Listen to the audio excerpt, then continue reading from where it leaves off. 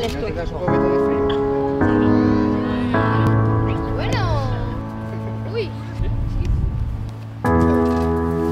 Estos niños han recibido tratamiento en San Joan de por ellos eh, también están, Alejandro en este caso que es de Santander, y Didac es un niño que tiene 11 años, ha escrito este libro que se llama La vida fantástica, que no os lo podéis perder, en el que explica sus sentimientos cuando ha estado en tratamiento, ¿verdad?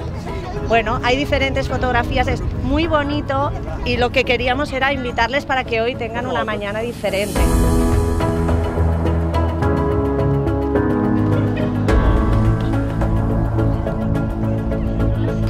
aprofitar les estones d'estar ingressat a l'hospital escrivint-li el, el que sentia dins meu.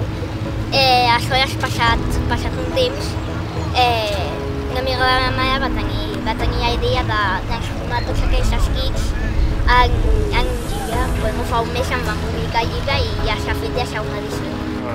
I si agarro aquest llibre, tu ja tot l'equip de l'Espanyol Moltes gràcies.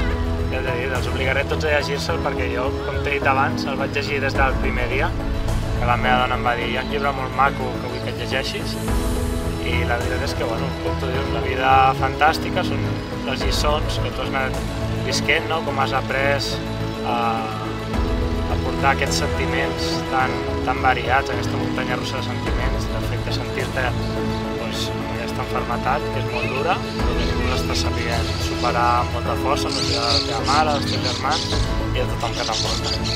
Però és molt maco.